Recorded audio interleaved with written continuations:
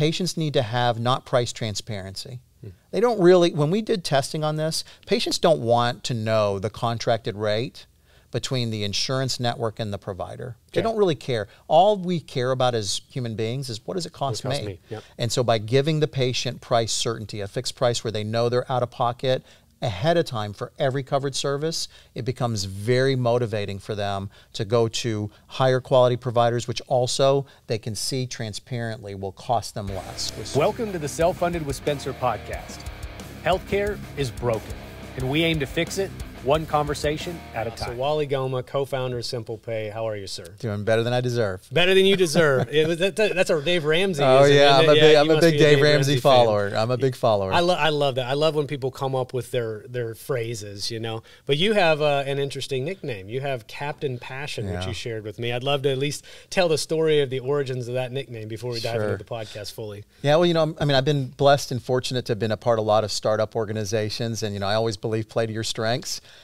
And uh, you know, as the chief storyteller and the evangelist about you know the good news of things that we were doing, you know, I became you know kind of called uh, Captain Passion. You know, the guy that's going to go share you know what we're doing to the industry with passion. And uh, You went so in so far as actually putting it on business cards. we had it on Yeah. business cards. Yeah. So some of my business partners, uh, a guy named Dem Bishop, Yep. uh, is president of Holmes Murphy, uh, one of my dearest friends and business partners. He was the chief maker upper. Okay. Um, our chief operating officer, she was the chief cleaner upper. Chief cleaner upper, And, okay. uh, and then there was me, Captain Passion. We had another gentleman on our team, Brad Bierman, but we could never really come up with a creative name for him. But he was he just had a normal he, title He was then? he was the he was the technology you know wizard. So, Okay. Yeah. Well, I'm sure that's fun to actually when you sit down with a new prospect or somebody and they read your business card and says Captain Passion. It's Yeah. a nice icebreaker, right? Yeah, you got to explain what passion's Yeah, about. yeah. Otherwise, people are like, "What are you? what are you whoa, doing?" whoa, whoa, you sit over on the other side of the table, please. That's right. You don't want to creep anybody Yeah, out. yeah. So, so Captain Passion, but I'll, I'll refer to you obviously as Wally for this episode. But the purpose of today, right? I've been dying to talk about Simple Pay. I was just sharing with you off camera that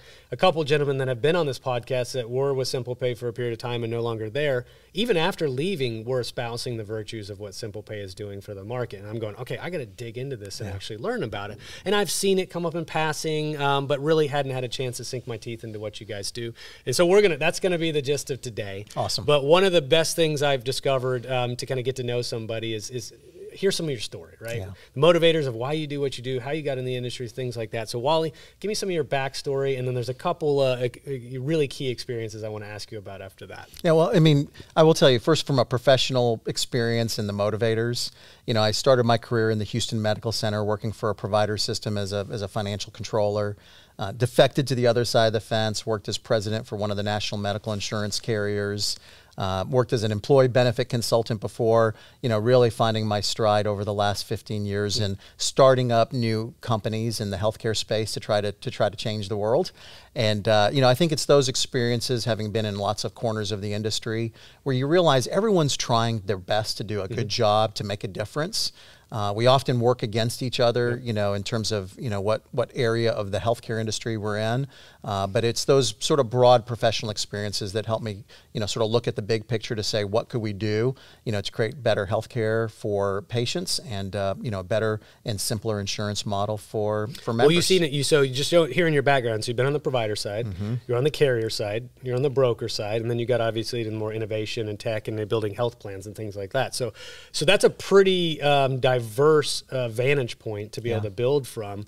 How long were you a consultant though? How long were you doing the, or performing that role? You know, I started with Holmes Murphy in 2003, and uh, that's really where I, I came into employee benefit consulting out of an insurance company. And uh, I still I still think about you know that transition. You know, I left a big insurance company, had 1,500 employees that reported to me in, in the organization that I led, and uh, I thought, you know, I'm going to show these brokers how insurance is really done. And uh, I think I was a month in, and I, I actually called my wife on the way home when, you know, on, on, on the drive about a month in at Holmes Murphy, and I said, Oh, I've made a horrible mistake. I'm like in way over my head. Like, I, I don't know anything really about, Yeah. you know, how, you know, how the system really works. And, uh, you know, again, just, you know, thanks, thanks to the, to Dem Bishop, who took me under his wing and taught me a lot of what I, uh, I, I, I learned. Well, that and, transition yeah. Mm-hmm. from carrier to consulting seems to be. I went the opposite direction. I started on the broker side, then went to the carrier side, but it seems side. like a pretty natural transition to spend time selling products to brokers, but then obviously they have a pretty good uh, basis of knowledge for how these insurance products work, you know, how to sell them, how to understand the differentiators in the market. And I think that gives you a pretty good training ground to go in and then invert that process and start representing an employer. It, it was a transition moving yeah. from selling a product yeah to actually now you're becoming somebody's advisor, somebody's trusted advisor. Mm-hmm. And uh, you know, I I'm grateful, you know, that I uh, had the the cha- the transition. The pa- there was a lot of patience and tolerance for for me to make that transition, mm-hmm. you know, by by the people I worked with. But it was it was moving from selling a product and being a product specialist to being an advisor. And I think fortunately I get to sort of draw from both of those types of skill sets, which are a little bit different, um, you know, from each other, and you know that I use today, and you know what we do. We we consultatively sell products, you know, because we're we're back in the product space, um, but we're doing it in a consultative way that really focuses on you know what's best for you know the buyer. Well, and you've had a couple catalysts. I want I mentioned or alluded to some stories uh, that I think show a profound reason why you do what you do. And so I'll, I'll, leave it up to you which one you want to do first. But the two key stories that I know of obviously, you had a, a cycling accident, and mm-hmm. then also you've lost a significant amount of weight uh, yeah. about 20 years ago. So, whichever order chronologically you want to dig into, but I know those are both yeah. pivotal moments I'll, I'll, do them in chronological yeah, okay. order. Okay. So, you know, um, you know, after after joining, you know, Holmes Murphy on the broker side, I actually made a transition into co-founding ACAP Health. It was a wholly owned subsidiary uh, where we were developing and distributing different products, and and one of those products was a program called Naturally Slim. Okay. Uh, you know, became one of the country's largest pre-diabetes and metabolic syndrome programs. Uh, really, we worked with you know millions of lives around the country. Clients like Google, big state governments, universities, many of the largest hospital mm. systems, and it was really one of the first programs in the country in that space to be covered by the major insurance carriers as a preventive medical claim. Mm. And uh, we made a difference in the lives of millions of people, reversing their clinical risk factors and helping them, I say, as a byproduct to lose weight. And, and I don't believe in coincidences. You know, before, you know, really, you know, stepping into that role a year, you know, several years before that, I had actually lost uh, about 140 pounds. Um, in full disclosure, yeah. I used to be six foot eight. I'm five foot seven. Yeah, okay, yeah, that's part of the loss, right? no, me but too. Yeah, that's yeah, it. But yeah. it, but you know, you look at it and say, was it those experiences in realizing how people struggle with their weight? They feel like they're failures on diets. What we learned was no.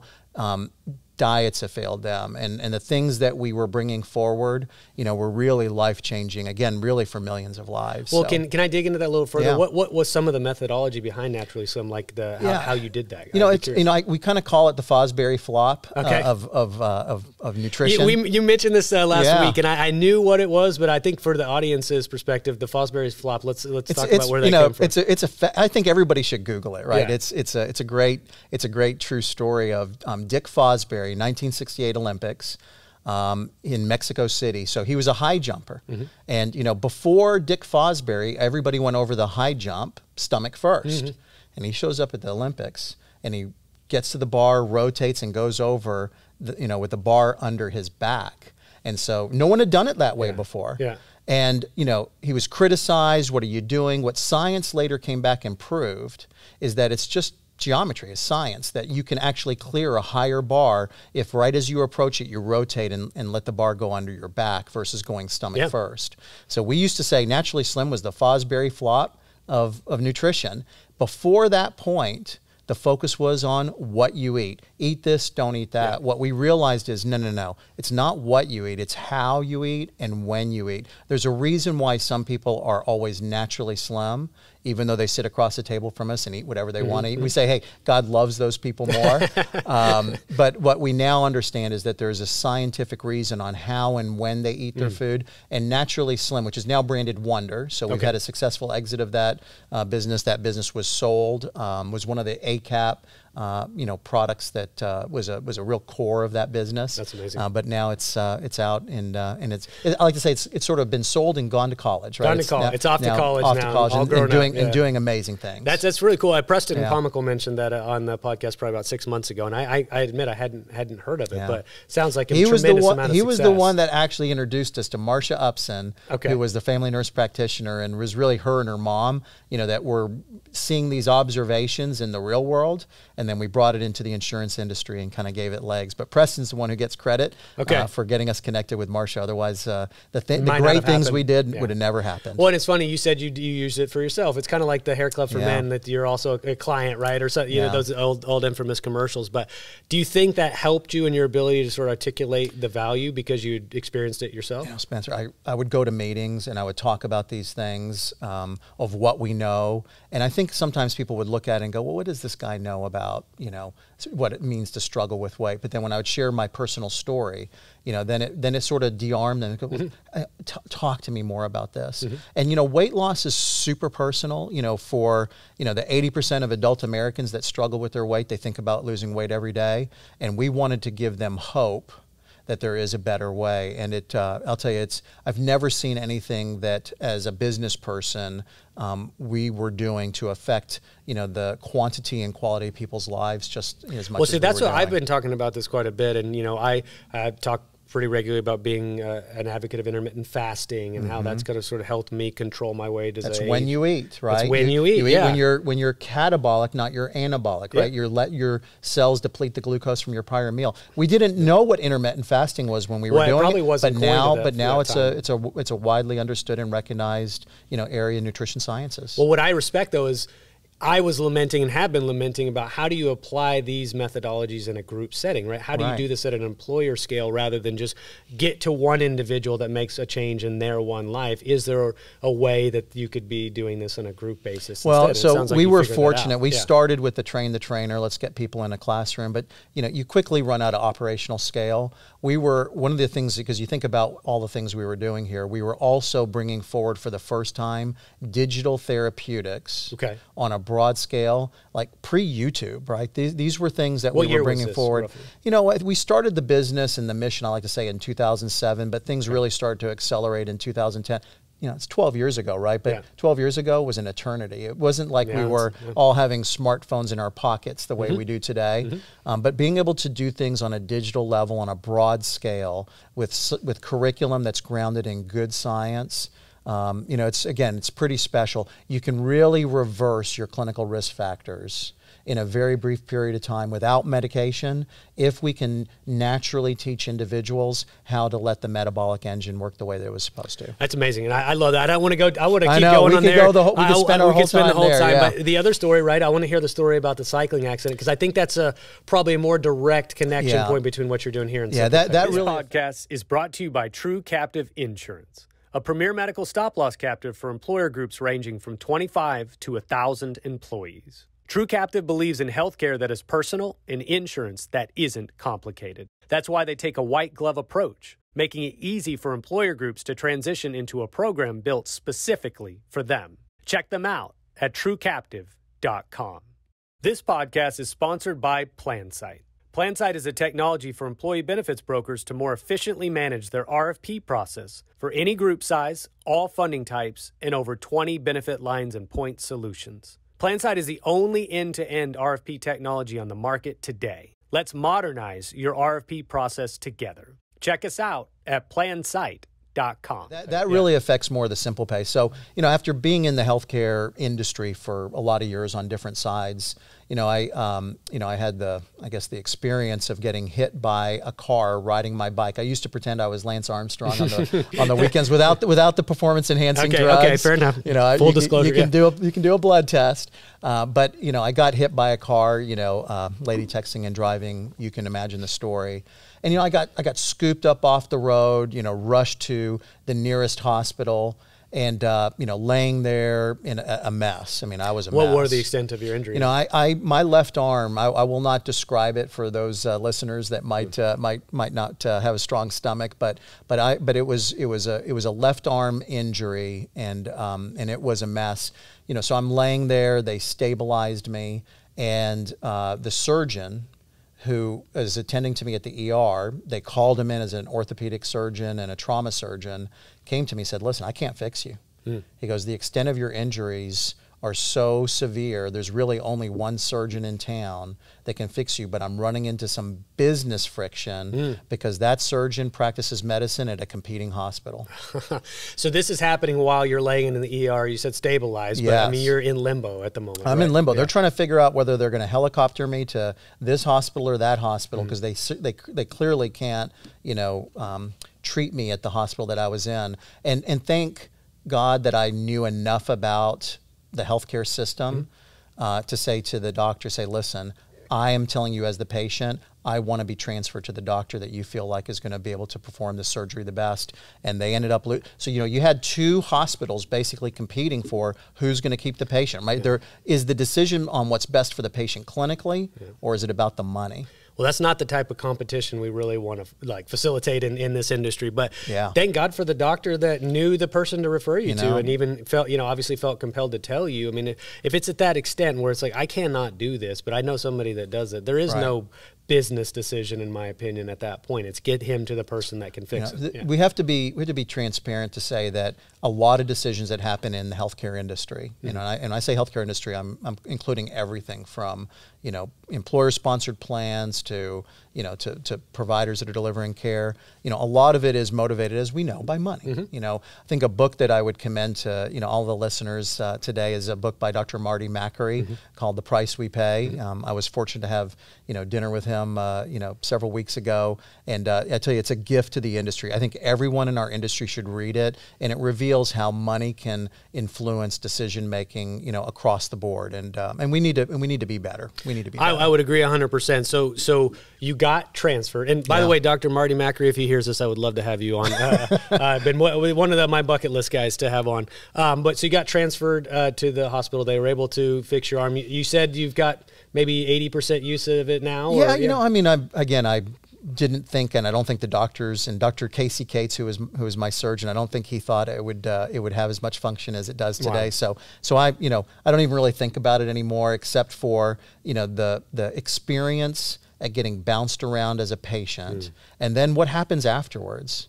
You know, imagine the boxes and boxes of paperwork. Yeah you know, the bills and the EOBs and subrogation. Like it is, we've made such a complex system and I could never figure out who I need to pay what to. And I mean, it was all of that experience mm-hmm. and much more, you know, that led, that led me to kind of think back of if we were going to start from the beginning to create a new model of insurance, you know, what would it look like? And so when when was the actual genesis of what is now Simple Pay? How long ago? Yeah, so um, you know, one of my, my co-founder in Simple Pay is a gentleman named Scott Shainvogel. Okay. Uh, Scott was the CEO and founder of Compass, which has been mm-hmm. sold to Alight. Uh, so he had a successful exit in that business uh, to Alight. Uh, but you know, Compass, you know, one of the mm-hmm. the largest patient navigation, price transparency businesses. He and I started, you know, putting our heads together uh, back in 2017, and then in 2000, you know, 18, we kind of, you know, formally said, let's let's do this, you know, to start designing a, a new model of insurance. Um, since then, we've been fortunate to have added Dr. Eric Bricker to yes, our team. know him very well. Uh, yeah. You know, really highly regarded. I think he's the uh, he's the most well known of of the three of us. And, well, he's the he's got the whiteboard uh, yeah. uh, reach that I, I want to be when I grow yeah. up. You his, know, uh, his, his his uh, AHealthcareZ. Yep. You know, in a lot of ways, we got the band back together again, and uh, you know, between you know Scott, who is one of the I mean, gurus in the industry. Uh, came at, he was he was actually the chief revenue uh, cycle officer for Baylor Scott and White Health System, okay. uh, and and really a, a, consultant to many of the largest hospital systems in the country before coming to Compass. Uh, you know, he and I kind of decided, you know, what would what would a new insurance model look like mm-hmm. if we were starting from the beginning. So when did you know when you had those early conversations up until you thought it was something you could take to market? Was there a, a moment in time where you really figured out that you were onto something, or was it a slow and gradual effort? You know, I you know with with a lot of things, right? You try this, it doesn't work. You try that, it doesn't work. Um, what we started to realize is that when we got rid of insurance complexity, mm-hmm. patients started behaving like consumers do in the real world. Mm-hmm. Mm-hmm. Um, and we got to separate patients from consumers because you know it's not like we're buying you know a TV. You know, healthcare I think is more personal, more important. You know, I'm biased on when I say that. Yeah, but we spend more time researching the TVs than we, we spend do. more time. Well, we have more information yeah, at yeah, our fingertips. it's easier to get. It's easier. Yeah, it shouldn't be. It should be easier to make good decisions in healthcare. Um, and so anyway, that you know, I think as as we started experimenting with different plan designs and payment models, and you know, all of that really you know came to you know des- to creating the model that we use today. Mm-hmm. And uh, you know, we've continued to adjust and perfect. Um, and I can I can talk a little bit about the results we have, yeah. but but I'll tell you, grounded in all of this is not just to simplify healthcare for the sake of simplification. Um, the health insurance industry ranks dead last in a study that's called the Global Brand Simplicity Index. It okay. ranks every industry from simplest to the most complicated. Health insurance is always ranked dead last as the most complicated industry that a consumer would interact with. And we wanted to not only simplify to create a better experience, but to get individuals to be naturally self motivated mm. to select higher quality care from the providers in their community. Well, is the complexity element the one, the main element you were solving for? Is it payment and complexity? I mean, like, tell me the actual pillars of things that you were tackling head on. If you think about what makes health insurance so complicated, it's obvious, right? Mm-hmm. There's these confusing plan design terms deductible, coinsurance, copay, out of pocket maximum. Only 4% of plan participants, if you give them those terms and ask them to match it to the definition, can match all four terms to the definition. Oh, really? Only 4%. Wow. So we go to these open enrollment meetings, we keep talking about, you know, these things, but individuals just nod their head. They don't really know how a, how co-insurance mm-hmm. works. Mm-hmm. Uh, they call it coin insurance. They think it has something to yeah. do with money. Yeah, they, yeah, yeah. they don't really know. So we said, listen, you don't have to have co-insurance and deductibles to buy a TV. Could you actually create an insurance model that gets rid of all that plan design complexity mm-hmm, mm-hmm. and give gives a cov- gives a, every covered medical and pharmacy service a price tag you know the price of everything to you as the patient before you go. Our whole thesis is you can't be a consumer of anything unless you know the price of everything ahead of time. Yeah, I mean that's that's just it. And I, I watched one of y'all's uh, YouTube videos, which is actually really well done. Uh, funny, it was the juxtaposition of the simple pay plan versus a traditional plan, and that you know the the humorous guy standing there like, "Don't you understand embedded versus aggregate?" And I thought it, it's funny, but it's funny because it's true, it's right? True. Because nobody really understands that. You said four percent of the people can actually successfully right. identify those terms. I'm in the industry. I still have difficulty to kind of coming up with, well, what do I, what am I going to pay if I have to go to this particular uh, facility or something like that? We, you don't know. We, we all do, right? Yeah. And one of my friends is a CEO of a of a large hospital system, and uh, and he used to he used to tell me, say, Wally, when the bills and EOBs for for care that's being delivered to my family within our own system, I would wait three or four or five months and tell my family don't pay anything because we don't know who yeah. we're going to owe what to. Yep. And even after the bills and EOBs come in, we still don't know. We spend a lot of energy in our industry, as you know, talking about surprise bills mm-hmm. in healthcare. Usually that's linked to out of network care. My opinion is every bill that you get is a surprise bill. Oh, you never absolutely. really know what. Well, my favorite thing is you go in and they say, okay, we're going to run your insurance and here's what you owe and then you go, well, what what is, what is actually being billed? Like, That's how much right. is it going to cost? Oh, That's we're right. not quite sure yet. We'll send you a bill later. That's but we right. know what you have to pay today in order to receive this care. It's it's pretty. Yeah. It's not even nonsense. It's perverse in it my is. opinion. Yeah, it is. So you're seeking to simplify that process. So why yeah. don't we take this moment? Let's actually describe Simple Pay in a Let's little more that. detail. What the solution is, how it works, and then I'll do some follow up after so, that. So so think about how you buy anything else in life. You might know the price. Hmm. Hmm. You might do some research on, you know, what's the quality, um, and that that's step one for us, right? Mm-hmm. We give the patient two pieces of information they should have had years ago um, around quality and around price. Okay. Uh, on the quality side, I like to say we're not reinventing the wheel. Nobody has to go to open enrollment to know that five stars is better than three stars, yep, right? We know simple. that. Uh, give them credible information that's easy to understand. Don't have to go to medical school to be able to know this doctor is higher quality than this doctor. So that's step one. Okay. Um, and combine that by giving them a fixed price out of pocket for every covered medical and pharmacy service. Okay. Where price tags will be lower for higher quality care, as they should be. Should be. Higher quality care generates more efficient delivery of medicine, fewer complications, readmissions, infection rates, never events, you know, never leave a surgical instrument in a patient. It's a real thing. Okay. Um, so we set lower price tags if you go to higher quality providers, and those price tags, and this is key, those price tags are fixed and all inclusive. Okay. So let's say Wally was having, you know, his hospital stay for his bicycling accident. Okay. Instead of deductibles and co-insurance Mm-hmm. and and not really knowing who you're going to owe what to, you would know that your hospital stay has one price tag behind it, and it covers everything that happens from when you're admitted until you're discharged. okay. One price, where that price again is lower around quality.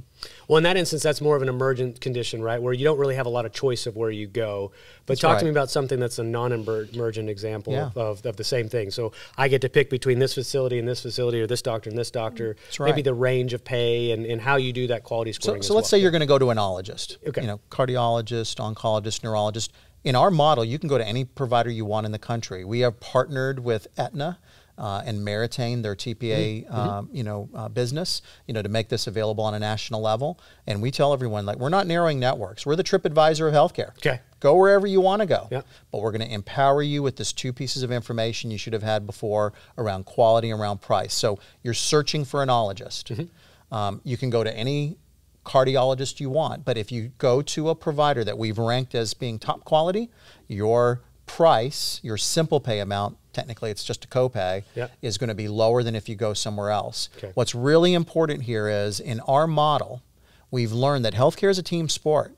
You cannot be a top quality specialist if you don't have admitting privileges to a top quality hospital service line. Okay. So if we can just get the patient to make one good decision of the doctor they're going to go to, that generally leads to top quality throughout their episode of care. Interesting. Okay. Yeah. So what is the range of, of that potential copay? Like, I mean, we talking 10, Sure. 15 bucks or how, how far Yeah, does so, that range so our go? plan designs are, are ACA compliant, right? Okay. So we're, we're going to have you know you know gold, silver, Okay. you know level plans ge- generally in terms of, of value.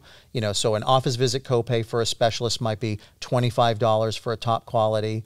Uh, could be lower if it's going to be a richer medical plan. Mm-hmm. Um, could be you know ten or fifteen dollars. Maybe you go to a provider that we would rank as being average. Uh, yellow, you know, we use colors green, Okay. yellow, red. Uh, you know, that might be you know forty dollars, and if you go to a provider that we would say maybe not your best choice, uh, you know, that might be a, a 60 70 dollar uh, charge. So that's for your office visit, Yeah. all inclusive, All inclusive, all okay. inclusive, right? Covers everything that happens from when you walk in the door, you walk out the door, even if they did it in an office lab test or an EKG. The point of this is patients need to have not price transparency. They don't really, when we did testing on this, patients don't want to know the contracted rate between the insurance network and the provider. They don't really care. All we care about as human beings is what does it cost, cost me? me? Yep. And so by giving the patient price certainty, a fixed price where they know they're out of pocket ahead of time for every covered service, it becomes very motivating for them to go to higher quality providers, which also they can see transparently will cost them less with certainty. and I like the price certainty, though, Yeah. that, that terminology. That makes a lot of sense to me. And even then, right, you, you still guide them through the choice uh, steps of that choice, and ultimately it is still their decision, right? There's That's not right. enforcement. There's just That's right. incentivization through a lower That's right. cost, right? That's right. The presumption, though, is that even that delta of 25 or 50 bucks might be enough of an incentive to get them to choose a higher quality provider. That's right. I think also knowing if I'm a, uh, a patient, right? If I go, oh, well, it's all going to cost me less, and that person is a higher quality provider, like why wouldn't I drive an extra mile, maybe, That's or right. whatever that, that that calculation may be in my head? I think tying those two things together as a consumer of healthcare makes a lot of sense because it's not just the dollars. I actually want high quality care. At That's the same right. Time. That's right. There's another Fosbury flop thing in this. Okay, I uh, wanna in hear this the other- model yeah, as well. yeah. The the narrow networks, you know, high performing network models. We actually think that we should have been doing the opposite of those. Now that we Okay. understand what's going on, every hospital system, as an example, has some clinical service lines they're great at, some they're okay at, some not so much. Okay. So you, we really need to have patients that are going to the hospitals that have the best clinical. You know, one hospital may be best in town at cardiology, but not the place to go for orthopedics. Okay. Um, and we need to combine it with the best physicians who have admitting privileges at those hospitals Okay. and measuring physician performance, not the way our industry has historically done it at the tax ID level, where 10 doctors may operate, you know, or hmm. practice in one in one practice together under one tax ID. We need to measure the individual doctors at that individual NPI level that we that we, t- we call this matching and using you know behind the scene technology to match best providers. Uh, healthcare is a team sport. You know, has been proven to deliver the best results. Well, so let's let's drill this down into kind of an employer profile, like the Sure. fit, right? Because I think I often will hear solutions on the uh, the podcast, and then I'm trying to necessarily drill in. All right, the theoretical sounds amazing. Like let's talk about the practical. So. Yeah. who would benefit from this? And Well, there, there's yeah. another part to the simple pay model. Oh, okay, please, That yeah. helps to, to that helps to kind of you know confirm is an employer a good fit for this Okay. or not. And it was a big learning for us that telling a patient, "Here's your price," you have price certainty. Mm-hmm. Um, did not create simplification when all those bills and EOBs came in the door. Okay. Because they could never figure out who to pay what to. Okay. So we had to get rid of all that. Hmm. And probably one of the most transformative things we're doing to really kind of change the way our industry works is that we've eliminated bills from providers and EOBs in this model and replaced it with a single monthly statement. So- Okay. So, how do we do that? Yeah. Right. So patient, you know, see, has care from a provider. Provider submits their claim to Aetna Meritain. The network discount is applied. What Aetna is doing is paying those providers the contracted rate in full Okay. and not reducing the provider's reimbursement for the patient responsibility. Okay. Which, if you think about it, it's like how every other industry works. Mm-hmm. You know, if I go to a retailer and I buy something with my credit card, the retailer is paid in full by the credit card company, and 30 days later, you get a monthly statement from your bank. Yeah. Yeah. Now, when you show your Aetna Meritain ID card, providers are paid in full. Okay. Always. Okay. And then the patient gets one monthly statement from their health plan, and the amount will match.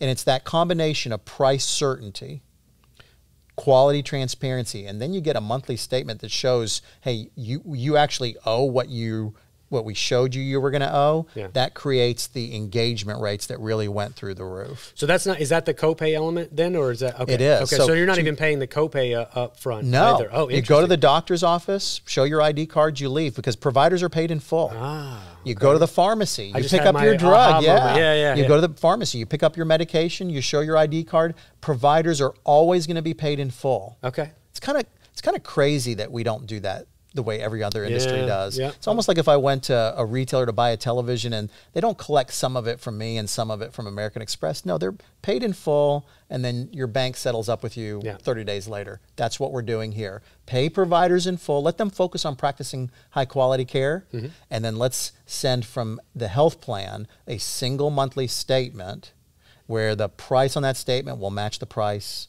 that they knew they were going to be responsible for. One more thing. Simple. One more. I'm going to go one Yeah. more place. Okay.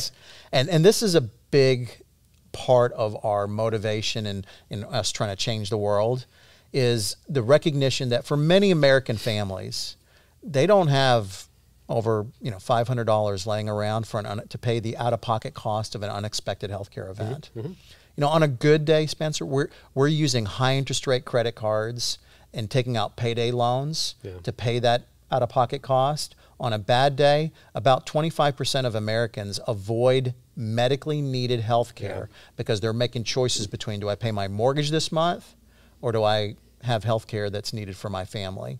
So, in this model, we've added a really cool financial well being benefit. When your monthly statement comes in, you can pay the balance in full.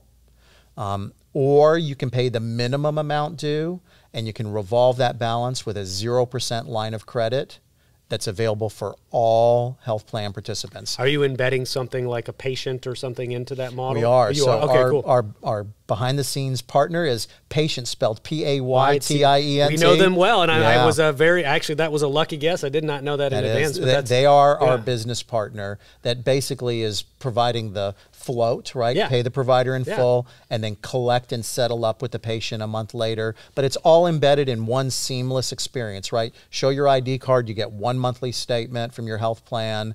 Um, all these behind the scenes business partners like Paytient are really what helps us to make all this possible. Mm-hmm. Well, that's amazing. And it, actually, before we go to the employer route, I, I have some follow-ups because I, want, I want to point out what you've essentially done is completely sort of dispelled the notion of high deductible health plans being these consumer-driven healthcare uh, arrangements being the ideal way to get people to consume healthcare. This notion that if we offload a lot of the cost onto the employee, that they'll somehow make better buying decisions.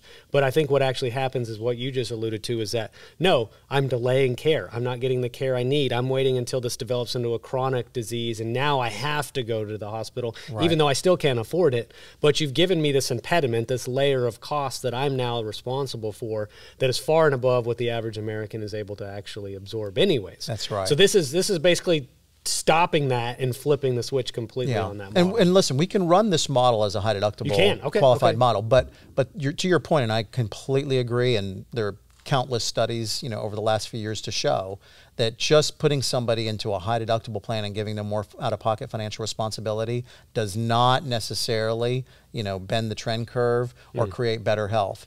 Um, having more financial responsibility out of pocket without the tools to know which providers are the best and the support with a concierge to help you navigate to the top quality providers that's what ends up producing a better result and you know i think the overword overused word by our industry of consumerism mm-hmm. is we tried to bring forward these consumer based plans but we didn't have a model that actually worked the way it does when you buy anything else in the real world yeah, yeah. i will admit when we designed Simple Pay, we really didn't invent anything. We just made health insurance work like any other consumer purchase. You know the price, you know the quality, you get one monthly statement.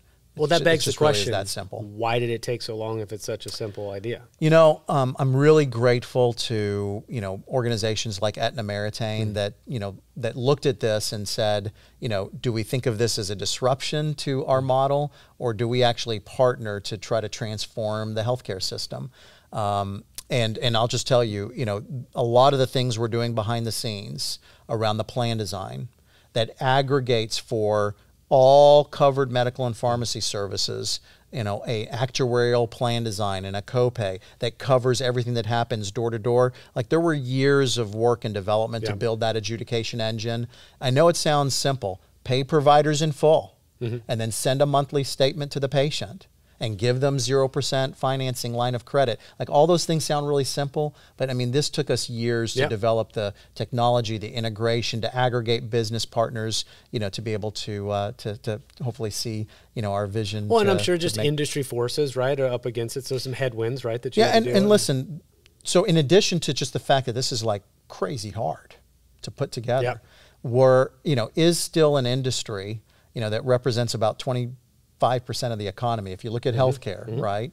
Um, there are still institutions that would rather you know play the game of status quo because status quo pays really yeah, well. Absolutely. And and we ran into some some of those headwinds. We actually started as a disruptor, um, you know, and uh, and we realized that you know what we really should be is an enabler. Mm-hmm. Find organizations that want to work together you know, to try to solve the industry's problems and stop playing this game of industry musical chairs to try to knock each other out of the way to get a seat at the table. And instead, we're on a sofa here. A sofa, and instead, yeah. let's get all get on a sofa working together, mm-hmm. you know, to try to solve uh, the problems of our industry. I think a lot of, uh, you know, in our old days when I was on the on the consulting advisor side, we used to ask uh, employers, you know, who do you think is the enemy in healthcare?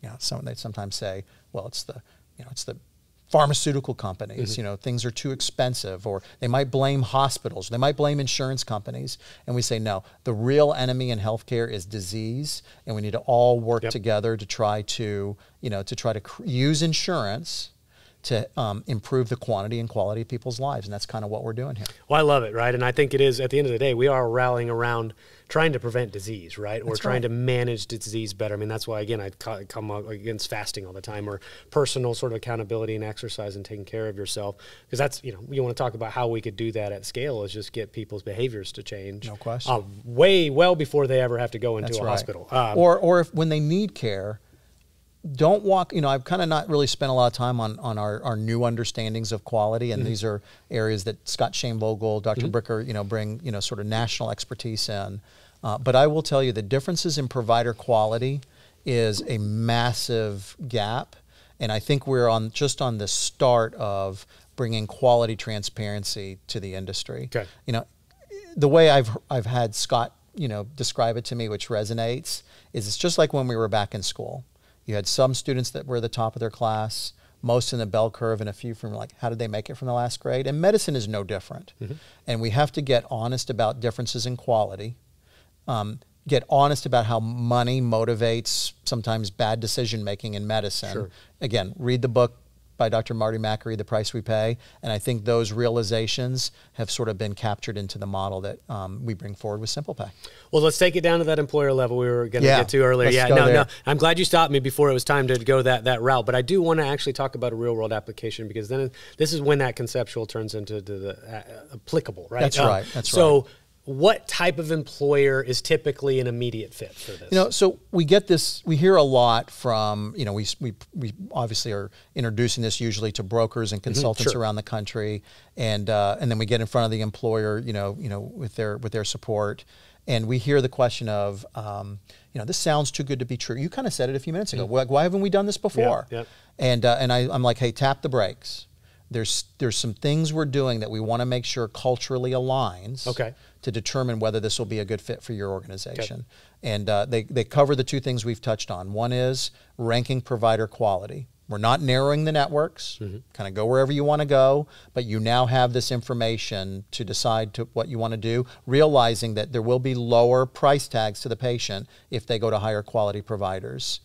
Some providers culturally need to check themselves and say, are we ready for that? Okay. because they will have employees walking into their office saying it's not fair that my doctor is ranked red i've been going to them for you know 20 years and now i'm being charged more i always want to remind employers we're not charging the patient more we're just giving them finally the understanding of how this provider performs and practices medicine actually ends up costing more. Okay. You just don't see it ahead of time.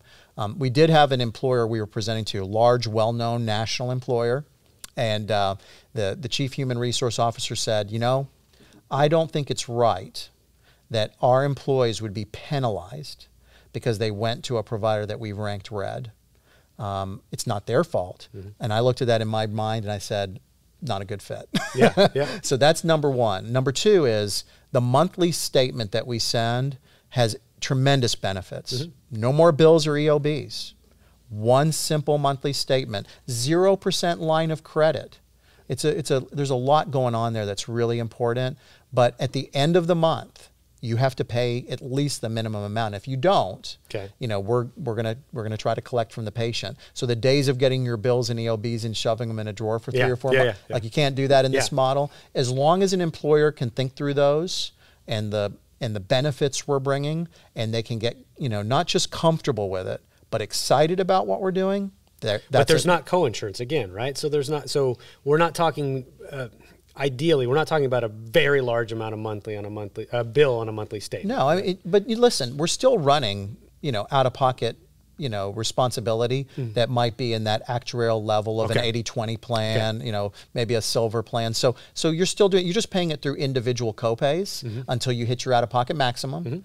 Uh, so we're just collecting it through copays. And you know, a hospital copay is not going to be, you know, $10, right? So Yeah. some of these copays are almost like Okay. mini deductibles. So patients are still paying their out of pocket, but the difference between going to a hospital, using North Texas example since that's where we're, you know, we're filming today, going to a hospital that is top quality for a clinical service line from one that maybe not so much, you know, it can be an over 60% reduction Okay. in the overall spend. So your copays going to a top performing hospital is going to be much lower than if you went to a hospital that, you know, we would rank as as uh, as as, Okay. as red. And in the end of the day, this still has to be competitive, right? So this is still right. going to be price competitive uh, versus what they might traditionally get in a fully insured plan or a self-funded plan. So how do you kind of underwrite this in a way that Yeah. still keeps it competitive in the market? I'll tell you the biggest thing for us as it relates to Simple Pay is results. Okay.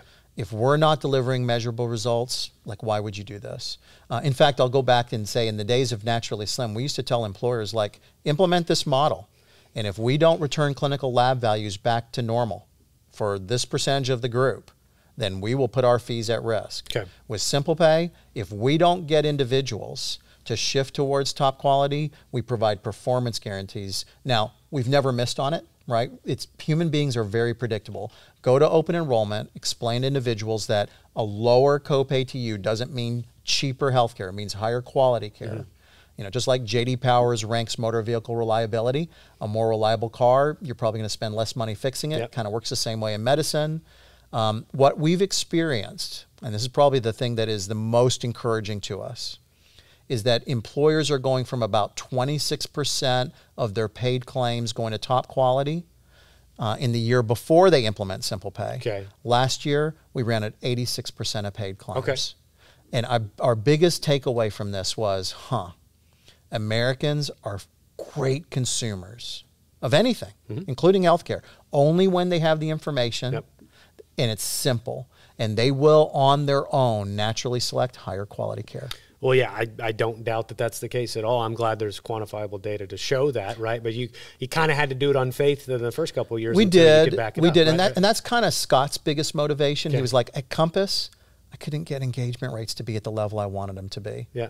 Um, and we and we just figured out that getting rid of insurance complexity causes us to behave like we do when we buy anything else in the real world, and that's why the eighty the eighty six percent number I don't mind telling you is way higher than our our hopes were, you know, for wild success. So so now that we've seen that, we know what's possible. Very consistent result that that applies, by the way, for blue collar, white collar, and gray collar Well, populations. I'm curious then. So let's say we get critical mass and you've got 86%, maybe that number goes to 80 or 90, who knows the, the, the range. But then what does that do to those low cost providers' bottom line, right? Are they starting to get a noticeable drop in patients that are coming to their facilities? Then if I'm that provider that's in red, how do I change my scoring, right? I mean, I think some of those things I don't know if there's an answer for yet, but it's I can see the downstream impact to some of those lower uh, quality providers Yeah. that might um, affect their businesses, right? Or That's might right. change their behavior, hopefully as Oh, well, you- right? You're, you're touching on an area that I'm gonna I'm gonna go kind of dangerously to the Okay, edge I know, on. okay. So there's a nationally recognized health system, very well known health system, Okay. and uh, we've been working with their leadership team. Uh, they are part of a large ACO insurance program that you know kind of creates those narrow networks. Mm-hmm. And and meeting with their ACO, you know, several weeks ago, I asked him the question. I go, does your system in the aggregate deliver better quality than the providers that are not a part of your system? Mm-hmm. And he admitted, he said, listen, we got providers in our ACO that are high quality, average, and not so mm-hmm, much. Mm-hmm. And he's looking at how can we use the simple pay model to rank providers inside of their mm-hmm. ACO. And I think the I think where we are today is just a realization that we don't want to be hospital haters. We don't want to um, point the finger to providers that maybe aren't ranking as high as the enemy. You know, if you if you kind of look at what's going on in medicine, we need to be leaning in and helping those providers, giving them scorecards to show them what they can do to improve. Um, we don't want to give up on that. Our industry, for the most part, has been focused on trying to empower the provider to perform better. Um, what we do with Simple Pay is we add to that. We add to that, empowering the patient to make better decisions. Okay. And I think at the at, I think the tide will rise for all as patients choose higher quality, as providers see that shift towards top quality. Those that maybe um, you know could look at how they're practicing medicine, you know, in a different way. I believe that we'll and that's see that say, I like that because it doesn't have to be adversarial. It just goes, hey, here's a couple steps that you could actually take to improve your quality scores, or Yeah. a couple behavioral changes, or billing changes, or whatever those things are that are considered.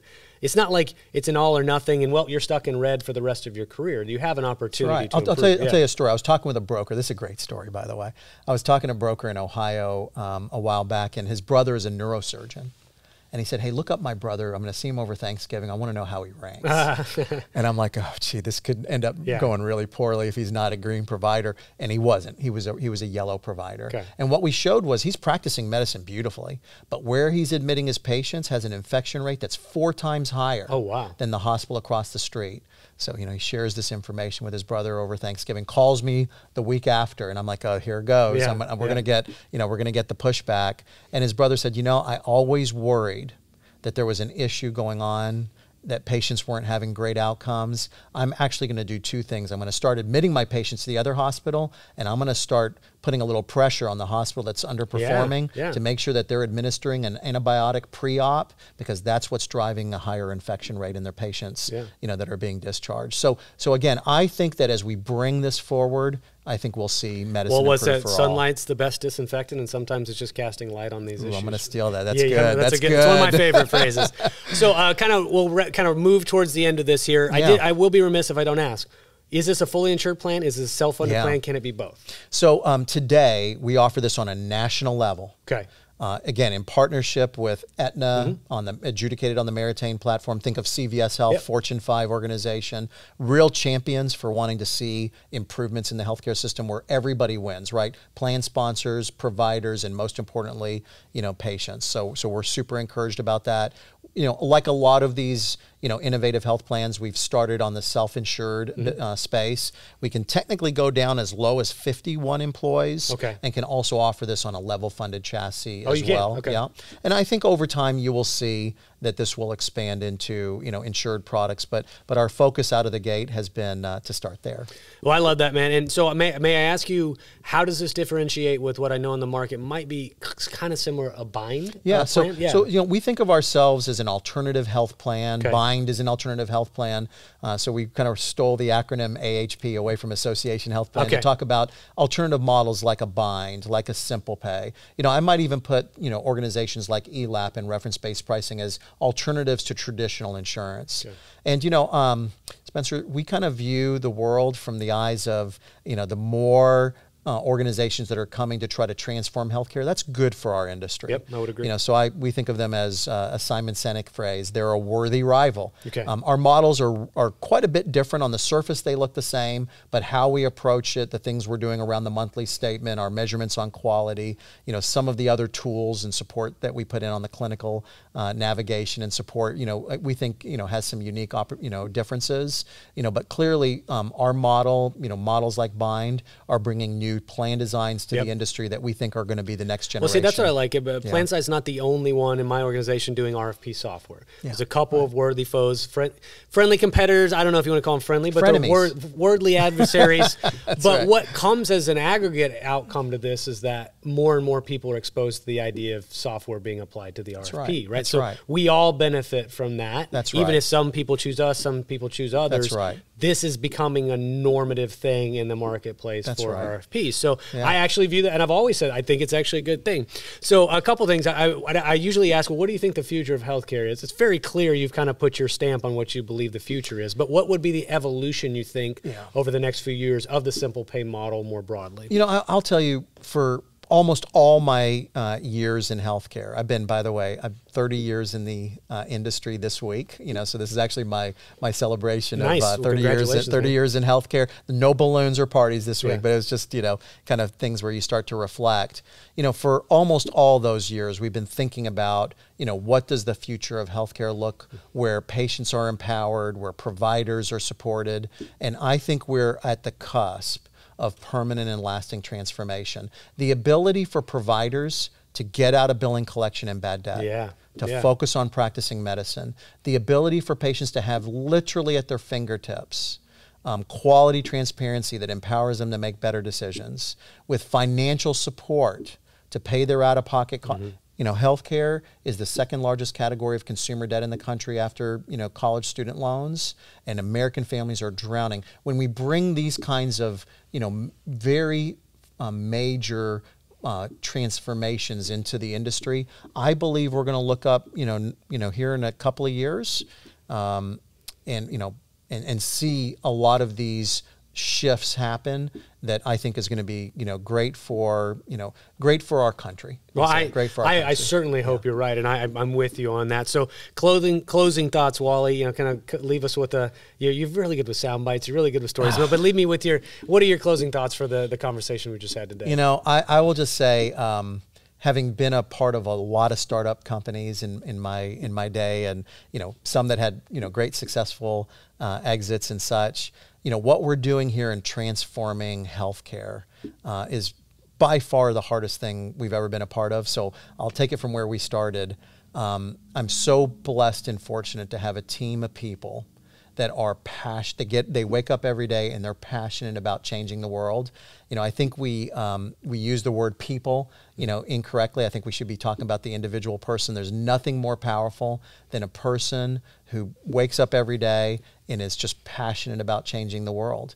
Um, we call it the parking lot test. You know, when you the get test, when you okay. get to work and uh, you pull into the parking lot when we used to go into the offices, Yeah, you know, yeah. pre-pandemic. Um, you know, do you just dread when you're Hmm. when you're in the parking lot going into the building, or can you do you just want to jump out of the car and run in because you can't wait to get started? If we've got a team of people that are passionate about changing the world.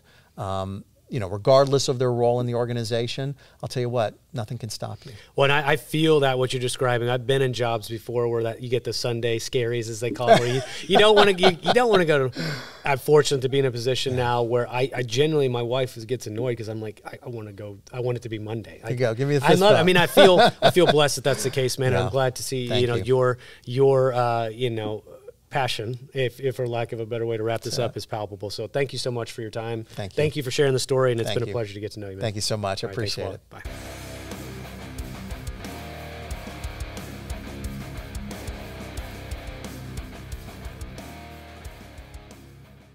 True Captive believes in healthcare that is personal and insurance that isn't complicated. Check them out at truecaptive.com.